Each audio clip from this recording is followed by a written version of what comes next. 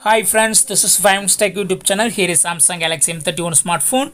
In this video, we will learn how you can turn off auto screen rotation on phone Samsung Galaxy M31.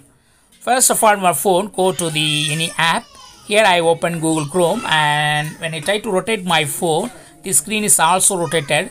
If you want to stop this rotation, you can do it. Just go to the notification area and click on auto rotate option and now it will be fixed in portrait position now go to the same app open the same app google chrome and try to rotate your phone. The screen is not rotated now because it is fixed in portrait position. Again go to the notification if you want to have the screen rotation and turn on that button. Turn on that button. Just click on the portrait option and it will be now auto rotate. Now go to the same app and if you rotate it it will be rotated